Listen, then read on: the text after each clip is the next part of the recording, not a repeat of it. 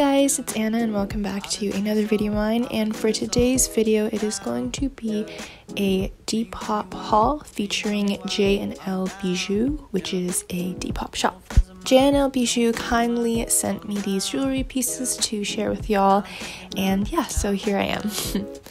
So, starting off with a little bit of info on J&L Bijoux, it's owned by Jessie Ballia, and her shop has pieces that contain sterling silver, and she sells all kinds of jewelry, including earrings, rings, and necklaces.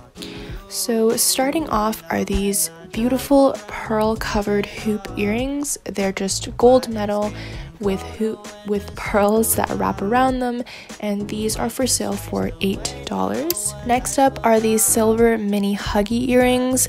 They retail for $13.50 and are 11 meters in size, contain 92.5% sterling silver, and are topped off with clear cubic zirconia crystals.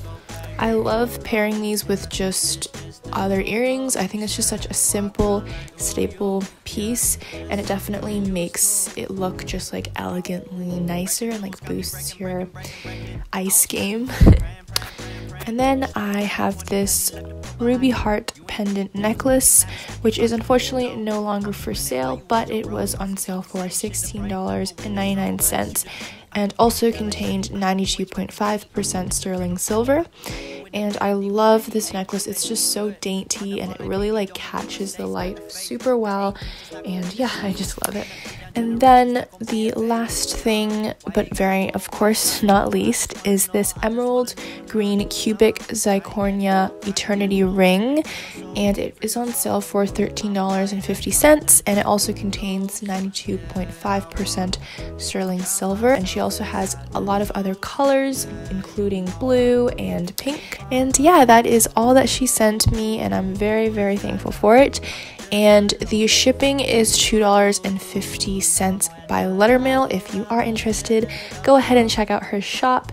She's so kind and I love all of her jewelry pieces. Now on to more things that I got from Depop. I did buy these with my own money. So yeah, I just wanted to share it with y'all because I think you guys would be interested. So the first thing is the these Brandy Melville light pink Rosa sweatpants. I actually wanted to get these, but the only brandy available now in Canada or like in Ontario is the one in Queens so or on Queen Street and that's pretty far from where I live so I just wanted to pick it up and I actually got these for $40 instead of what they retail for which is 45. so that was great and the other thing that I picked up is this Vogue Skateboard Magazine t shirt. I did cut it so it's slightly more cropped because it is size large, but I wanted it to be kind of oversized and cropped at the same time. So, yeah. And that is basically all that I got for my Depop haul today.